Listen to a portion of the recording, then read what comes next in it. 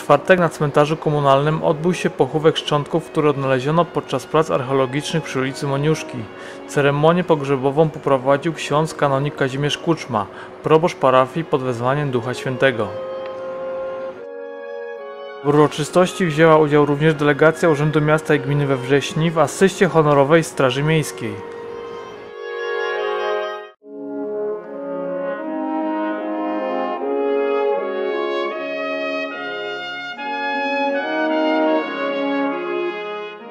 Skąd pomysł na pochowanie szczątków odnalezionych przy ulicy Chopina właśnie tutaj na cmentarzu komunalnym we Wrześni?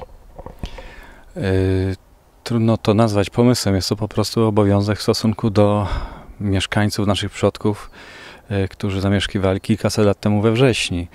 Y, Poza tym jest to chrześcijański obowiązek, żeby pochować szczątki, a ponieważ w miejscu, gdzie spoczywały poprzednio, y, będzie w najbliższym czasie parking, no to y, należało w sposób godny te szczątki złożyć do grobu wspólnego.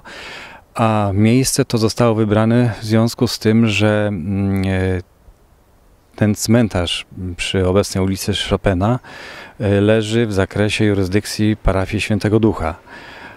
Tak samo jak e, cmentarz e, komunalny, dlatego te szczątki trafiły właśnie tutaj. Y, Jak to miejsce zostanie zaznaczone? Będzie jakaś pamiątkowa tablica, informacja o tym, y, że te szczątki spoczywają właśnie tutaj? E, Tak będzie to zaznaczone i e, informacją, która jest na krzyżu, e, już w tej chwili tam przy, opartym o drzewo i tej mniej więcej treści e, informacja będzie tutaj e, umieszczona już na, na, na, na, na kamieniu w trwalszej formie.